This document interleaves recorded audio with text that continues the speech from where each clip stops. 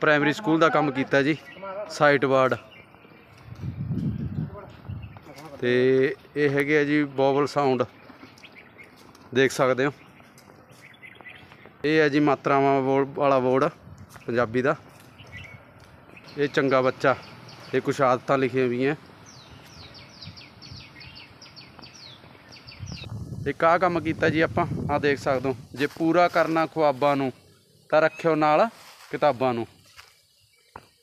ਇਦੂ ਗਾਹਾਂ ਆ ਗਿਆ ਜੀ ਸਪੋਰਟਸ ਵਾਲਾ ਬੋਰਡ। ਖੇਡੋ ਪੰਜਾਬ, ਵਧੋ ਪੰਜਾਬ, ਫਿਟ ਇੰਡੀਆ, ਸਪੋਰਟਸ। ਤੇ ਇਦੋਂ ਅਗਲਾ ਆ ਗਿਆ ਜੀ ਰੁੱਖਾਂ ਬਾਰੇ। ਡੋਂਟ ਕੱਟ, ਆਵਰ ਬੈਸਟ ਫਰੈਂਡ। ਆਓ ਮਿਲ ਕੇ ਰੁੱਖ ਲਗਾਈਏ ਵਾਤਾਵਰਨ ਨੂੰ, ਸਾਫ਼ ਬਣਾਈਏ।